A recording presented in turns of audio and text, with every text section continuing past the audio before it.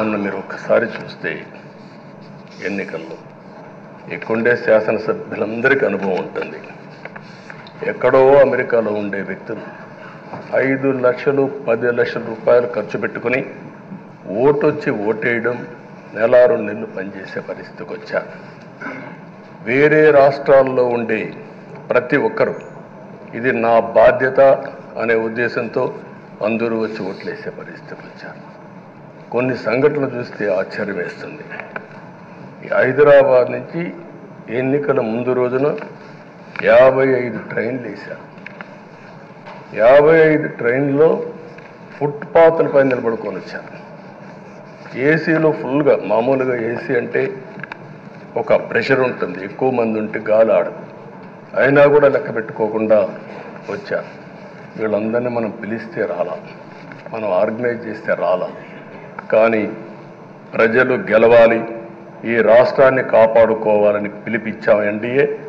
పవన్ కళ్యాణ్ గారు బీజేపీ తెలుగుదేశం ముగ్గురం కలిసి దాన్ని స్ప దాంతో స్పందించి పెద్ద ఎత్తున ప్రతి ఒక్కరూ మా బాధితను వచ్చారు.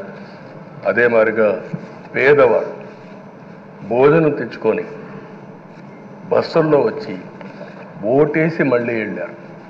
అంటే అంత అభిమానం చూపించారు. వాళ్ళ రుణం తీర్చుకోవాల్సిన బాధ్యత ఈ సభ పైన ఉందని చెప్పి మీ అందరికీ తెలియజేస్తున్నా. ఆ బాధ్యతని మన కళ్ళ ముందర ఎప్పుడూ కనపడవలసిన అవసరం ఉంది. ఈరోజు రాష్ట్రం. విధ్వంసమైన రాష్ట్రాన్ని మళ్ళీ గాటి గాడిన పెట్టాలి. మంత్రులందరం ప్రమాణ స్వీకారం చేశాం. పవన్ కళ్యాణ్ గారు అందరం కూడా చేశాం. కానీ ఈరోజు ఒక్కసారి ఆలోచిస్తే ఎక్కడున్నామో తెలియని పరిస్థితి.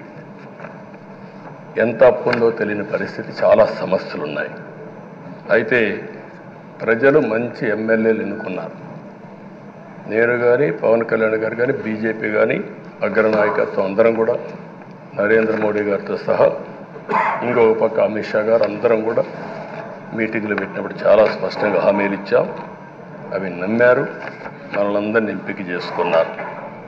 మీరందరూ కలిసి ఒక మంచి వ్యక్తిని రాజకీయాల్లో గౌరవాన్ని కాపాడే వ్యక్తిని పార్టీని నమ్ముకున్న వ్యక్తిని మీరు ఎన్నుకున్నారు. ఈరోజు మనందరం కూడా గుర్తుపెట్టుకోవాల్సింది ఇక్కడికి వచ్చినప్పుడు అవతల పార్టీ వాళ్ళు కూడా మనం ఎగతాడు చేయాల్సిన అవసరం లేదు. ప్రజల పనిష్మెంట్ ఇచ్చారు. ఇదే హౌస్లో నేను చూశాను. ఇరవై మూడు సీట్లు మాకు వచ్చాయి. నేను బాధపడ్డాము. కానీ ప్రజాస్వామ్యాన్ని గౌరవించాలనే ఉద్దేశంతో ప్రజాసంయుతంగా పనిచేశాం. ఇరవై మూడో తారీఖు ఎన్నికల రిజల్ట్స్ వస్తే దాన్ని వక్రీకరించి ఇరవై మూడో తారీఖున దేవుడు రాసిన స్క్రిప్ట్ ఇది మీకు ఇరవై మూడు సీట్లు వచ్చాయని మాట్లాడారు. ఇప్పుడు నేను అడుగుతున్నా కూటమికి నూట అరవై నాలుగు సీట్లు వచ్చాయి. ఒకటి ఆరు నాలుగు కూడుకుంటే పదకొండు వస్తుంది. రాష్ట్రంలో దగ్గర దగ్గర పదహారు వందల ముప్పై ఒక్క రోజులు అమరావతి రైతాంగం ఆడబిడ్డలు ఉద్యమం చేశారు.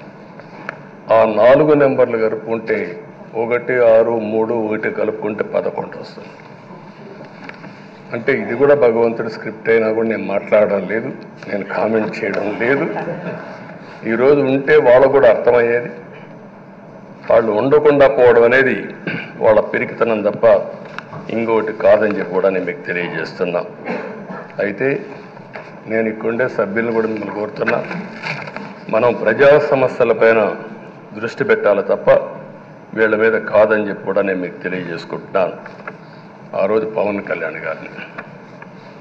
పవన్ కళ్యాణ్ గారిని అసెంబ్లీ గేటు కూడా తాకనీయం అని పెద్ద పెద్ద డైలాగులు చెప్పారు. ఇరవై ఒక్క సీట్లలో పోటీ చేస్తే ఇరవై ఒక్క సీట్ని గెలిపించాలని